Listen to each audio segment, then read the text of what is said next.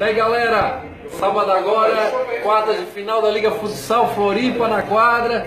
Sábado, 11 horas, dependendo da torcida, vamos lá todo mundo comparecendo para dar aquela força, aquele empurrão. Floripa chegar na semifinal, hein? Tamo junto, abraço!